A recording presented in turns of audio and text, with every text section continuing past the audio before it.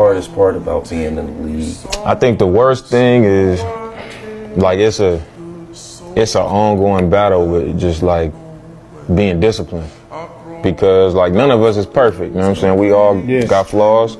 Not a lot of times in life you get to the point where you just got access to damn near everything that you could desire. You know what I'm saying? Whether that's like, all right, I want to fly to Maldives, or I want to go Costa to a party in LA and there, you know what I'm saying? Every famous woman you could think of is gonna be there. Like you just got access to everything that could get you in trouble. You could either look at it like, damn, all right, I came in the league, I was 21. Do I want to play 17, 18 years in the league and I walk away and I didn't live at all? Or do I just continue to be myself and like take solace in the fact that, all right, you know, I did, I did what I was supposed to do. Like all my family is in place my kids happy, my girl happy. Like, which route do you go? You know what I'm saying? Or do you have people in your ear like, man, what you gotta do is you can do this, but you gotta have this and do that and do that. Like, where, where do you go?